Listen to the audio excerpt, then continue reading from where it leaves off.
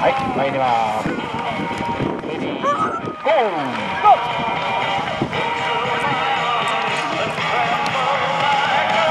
辺の風を制する者が今日のセカンドラウンドを制しそうだ。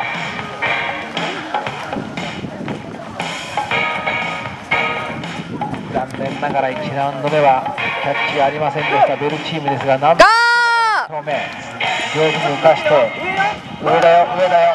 おっと3つ目の前に現れるかと思ってたんだけれども。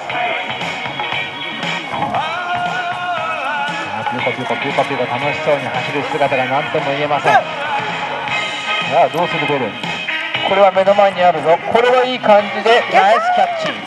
56ポイント追い切りました。もう1本もう1本。ベルもう1本。早いぞ10秒前。早いぞ。落ち着いて。今の調子だべ最高ちょっと早いか。追い切った。最後見事に2キャッチで締めくってくれました橋本ベル。10ポイント。合計で10さあ2610という。